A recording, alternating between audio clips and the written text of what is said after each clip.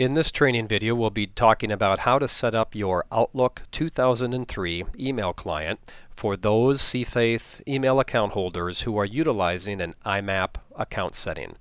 Remember, IMAP allows you to see a mirrored copy of your email messages one copy is left on the CFaith mail server, another copy you pull into a different email client such as Outlook 2003.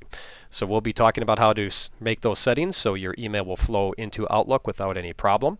And to begin, we'll start from the CFaith homepage. We're going to log into our new CFaith or Gmail account and make some settings. So click on the ISP email link on the main menu, then click on email, then we're going to click the Login to Webmail link right there at the top.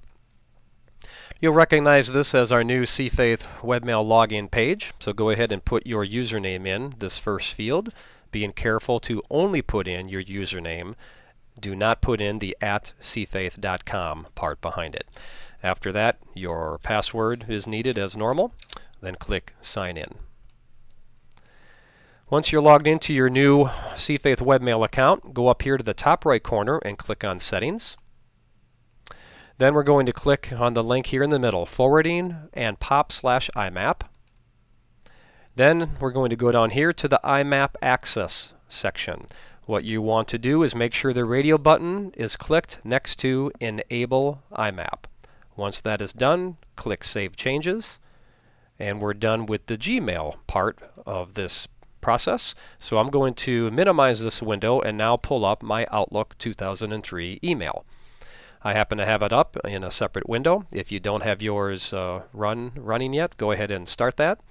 And when you have your email pulled up, go to the top menu where it go where it says Tools, then go down to Email Accounts. On this page, click the radio button View or Change an Existing Email Account, and then click Next.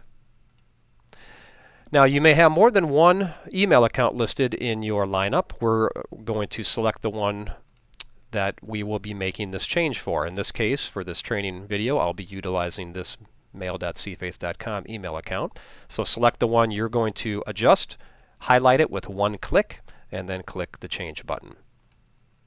Alright, here is the page we'll be making some of the changes. Starting at the top right corner, in the Incoming Mail Server field, we're going to highlight the entire section that is there and replace it with imap.gmail.com.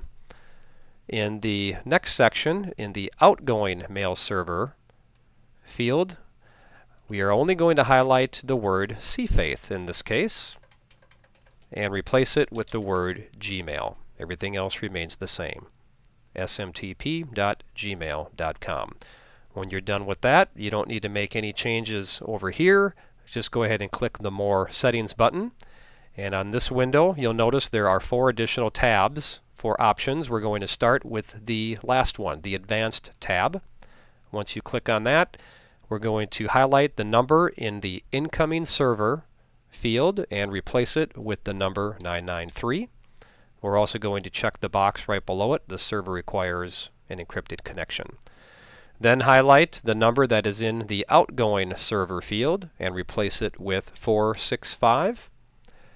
And also click this box. This server requires an encrypted connection. After that, we're going to click right about in the middle for the server timeouts to make it around 4 to 5 minutes. Anywhere in there is fine. Click on that when you and then when you are done, go up here to the outgoing server tab and make sure that this box is checked. My outgoing server requires authentication. And if, if it is not checked, go ahead and check it. Then you are done. Click OK. We're back on the previous window where we made some changes. Go ahead and click Next. And then once more on Finish. That is the adjustments that are needed. If you want to test it now, all you need to do is go ahead and click your Send and Receive button at the top and your mail should start flowing into your general inbox. Of course, you can create some secondary accounts or folders if you wanted to set up some rules to route your mail to specific folders. But that is how you make sure your IMAP account in Outlook 2003 is properly set up.